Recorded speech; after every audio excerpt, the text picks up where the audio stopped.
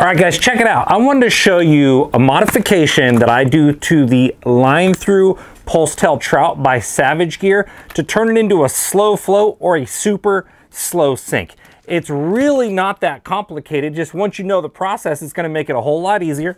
I mean, all you need is a, a razor blade or an X-Acto knife, some Loctite gel, uh, a screw gun with a good sized bit, and I'll show you why, and uh, a mask for when you're drilling on these things. You don't want to breathe in different sort of leads and stuff that I'm going to be drilling out of the harness, and just a big old pan full of water just to adjust the sink rate so I don't have to be going back and forth to the lake. You could fill up your bathtub, uh, mess around in your uh, bathroom, entertain your wife a little bit, swim some lures around in the tub if that's what you want to do.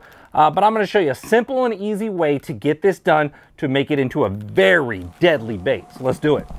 All right, so right off the bat, let's pop open the package, see what we're working with here. Try not to take any uh, staples in the hand here. Okay, now you can see that it already comes with that little deal on the bottom. Um, I don't fish it like that. I take that whole thing off. I take that split ring off the hook and I save that hook. So let me go ahead and do that. All right, when it's all said and done, the hook's gonna set in there flush like that. But for right now, we're gonna take that out and put it to the side. Now, this is kind of glued to the plastic here. So what we're gonna do is just kind of massage that harness inside there. And there's lead and uh, I don't know what that is. That's a hard foam or something inside there. All I'm doing is loosening this plastic off of the harness uh, before I make some cuts. So kind of just massage it around. You'll feel that that plastic's actually sliding around on that harness. It's just gonna make it a whole lot easier to come out and the baits will always run perfect too if you do that on any sort of line through swim bait. Um, it just helps quite a bit. Now, um, what I want you to notice right here, you'll see that hole, right? That's where the line's gonna come out the back. not sure if that's in focus for you guys. So what I'm gonna do is I'm gonna cut about an eighth of an inch behind that front hole. That's where the line's gonna go through right there. So I'm gonna cut a little bit back. I'm gonna cut up to that hole and I'm gonna come through it just short of where I place that hook in. So I'm not cutting into that last hole and I'm not cutting into that front hole. Just short of it, across the center hole, and just short of this one back here. So just like this here, you can now see that I cut short of the front hole and I cut short of the back hole. Now I'm strictly gonna just kind of loosen around that as much as I can, kind of rub the end of my thumb, my index finger in there, and I'm just gonna try to free up that harness a bit. Just kind of work it around. You'll see that the harness is already kind of coming loose. I don't want to tear into that front hole. It's gonna help me align this back perfectly. Whoop, I got it right there, but I'll be okay. It didn't tear all the way through the front. And I did put a little tear on the side, but we're still good. Once this is Loctited up, you won't see any of that, so we're good. Now I'm gonna just kind of try to roll the nose off of there a little bit. We're gonna work our thumb down in there and we're gonna slide that harness out just like so. Now you can see that the foam's kind of over that piece of uh, lead right there that's keeping the bait balanced and that's also what's causing the bait to sink. So now I'm going to take a screw gun and I like to use a little bit larger of a bit to help me take out more material faster. We're probably going to take out about half of the material in this. It comes already at like a medium sink rate, which is great when the fish are down a little bit deeper. But if I want to, you know, slow roll this swim bait over the top of trees and stuff, I want this thing just barely, barely sinking or just riding within an inch under the surface. So I'm gonna drill out right here. So what you gotta be cautious of, this is where your line comes through here on the top. Let's see if that's focused for you. Your line comes right through here on the top and then slides out the bottom. So we wanna make sure we are not drilling too close to where that line's running through the harness.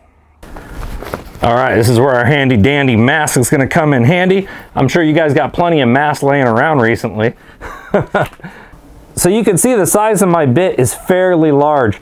If you have a vise laying around, that could be real handy to uh, make that stationary, but I'm gonna hold it by hand and work my bit real slowly just to not screw myself in the hand. And if I do, I got crazy glue right here to patch myself up with.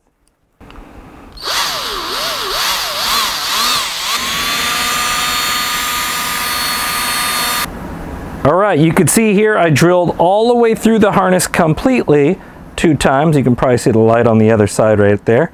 Um, and now let's put her back in to test.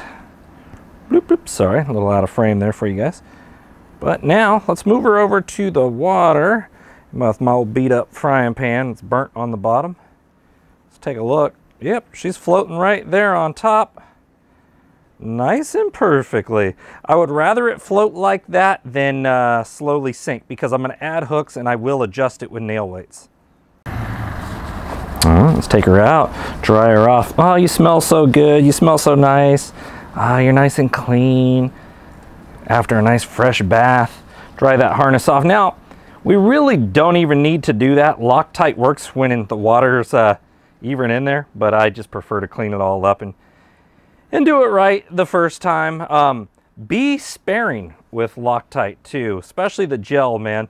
Um, it's very easy to overdo it. And remember, the line's running through the harness in here and coming out the bottom. So all the pressure's in here. And if you see a little opening in your skin, we'll, we'll dial it in. But I'll show you. I'll glue it up right now. All right, let's put our harness back in. Fat end in first. Nose over. There we go. Now, what I want to make sure is that the openings in my plastic align with those holes in the harness. A little hair right there. So one thing you can do too is you always want to make sure the line's going to go through the nose portion first. So use a little dot of Loctite to adjust it. Don't go overboard to begin with. Uh, it's really easy to go overboard with too much and then you got to backtrack from there. So let's take it, let's put a little tiny dot right in here. Don't mind my shaky hands. Coming out? Maybe? Yeah, there we go. So I'm gonna put a little dot right there first. And this stuff dries quick, man, so maybe give it 30 seconds or so and see if it uh, binded right there, and then we'll go from there. All right, so since that front piece is kind of locked in there now, we're gonna come in behind the hole, the exit hole here. You can kind of see it tore a little bit around it, so I'm gonna go just above it first with another dot, kind of just down from where we were. You don't wanna do the whole thing all at once, guys. Be patient when it comes to gluing. Little dots, otherwise you get that glue on your hand the bait won't line up perfectly. The skin won't line up. You want this thing looking nice. You already invested the time to modify the bait, so take your time with it. All right, guys, she's all sealed back up and ready to go. We're gonna run the line through the nose, out the bottom of the hook, put the hook down here because we're turning this essentially into a super slow uh, wake bait or a floater. So we're gonna swim this over the top of trees, over the top of weed lines, just deadly slow.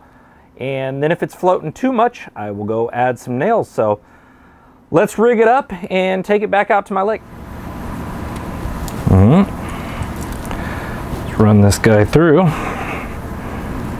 Do do do do do. Do do do do.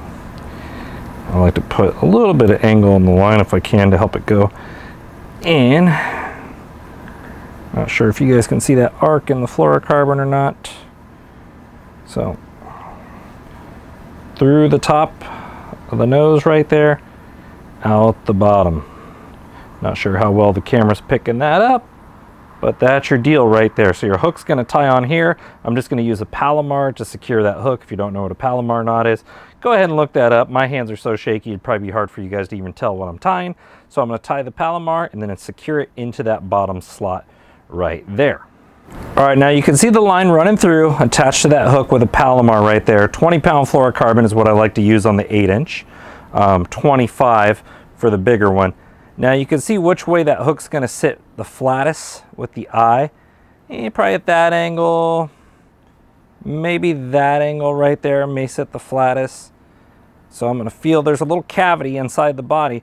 Now you can see that hook sits flush just like that um, to where I will tie a trap hook where I'll tie onto the shank and run braid and put an additional hook right there. I can show you guys that in another video, the knots that I use. Um, but let's go test it. Let's take it out to the lake. All right, not sure how well you guys can see that. You can see it's floating right on the surface, right there in my shadow. Um, now I can add one nail to that and make it easily go under, or I can reel it down a hair and slowly creep it just like that, which is also very, very deadly.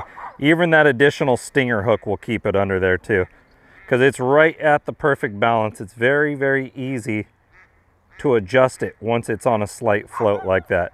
And that is a deadly presentation creeping over the top of trees or weed lines.